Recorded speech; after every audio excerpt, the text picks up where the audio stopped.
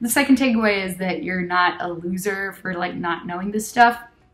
The GMAT is a test which is not made for, at least in my understanding, it's not made for smart people.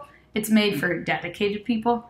So if I could do it, I think anybody could do it.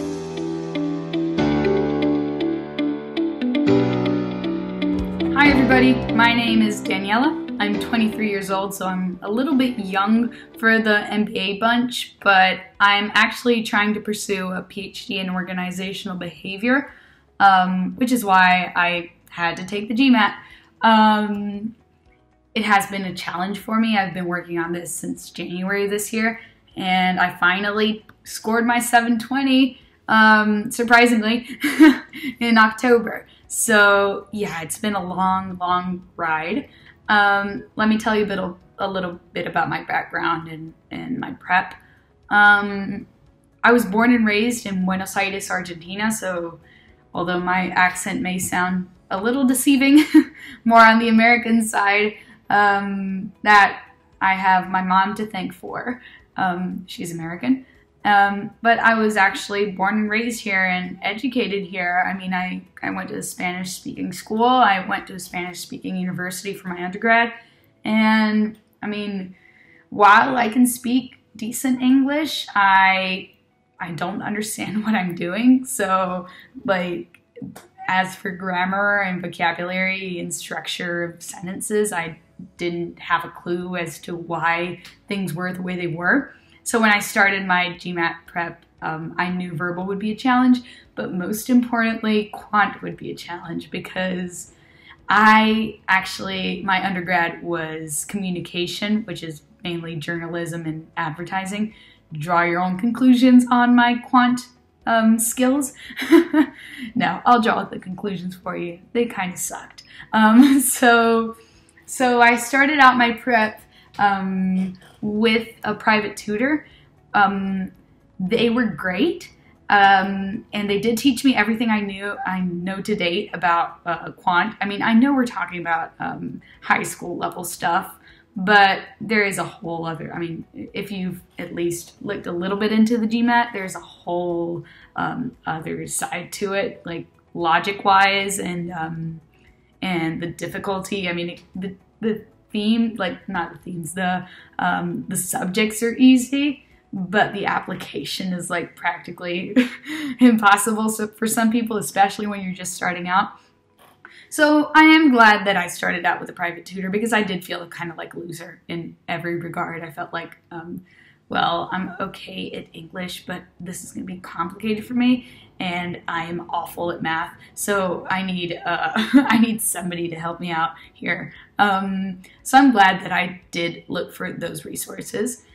But I took the test in July, and many factors came into play uh, when it came to my um, my failure because I scored a 620, which for PhD programs is pretty low, especially what I was aiming for.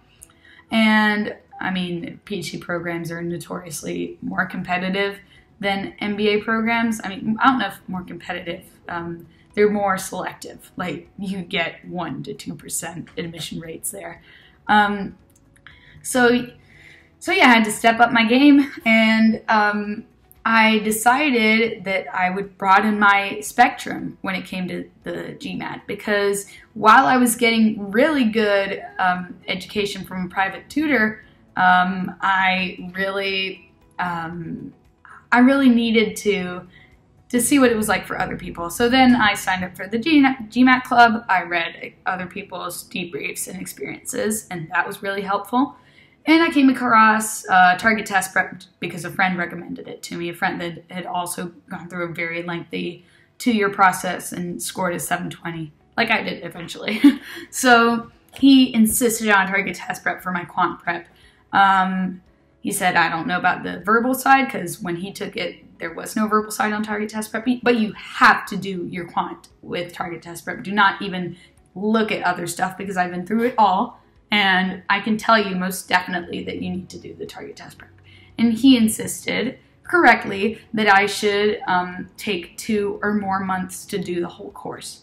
Now, Daniela did not have the time or the patience to do the two months because applications were coming in um, soon and she was dedicated to research as well. So I had this month where I could um, sacrifice all this stuff because of like timelines or whatever other topics. But um, I had this month where I could completely dedicate myself to, to target test prep. And I would say this is the only case, like a case similar to mine, where you're already like knowledgeable on the subjects and you actually have a whole entire month, 24 7 um, dedication to target test prep. Could you use and complete it in a month? Otherwise, take two or more months to complete this course because it is comprehensive, it is uh, rigorous, it is repetitive, which is like something that um, I believe not um, other courses don't really shine out, shine by. I don't know the expression, but um, this is a very complete course, and if you're not doing it right, you're you're just not gonna take advantage of it completely. Um, so so yeah, I really did appreciate um, the the repetitiveness of it, the um, the exercises that you could like just um, work on sequentially, like from a easy point to a medium point to a hard point, and then take your tests and repeat them and go back to the stuff you reviewed like two days ago. And I mean, the whole course is set out for you. Um, you just have to follow the steps. And in that sense, it's very good because you put in hard work, which is very important for the GMAT journey. I mean, you can't expect just things to fall from the sky and and knowledge to like fill your brain up and, and you're ready for the test. I mean, you do have to put in a lot of hard work.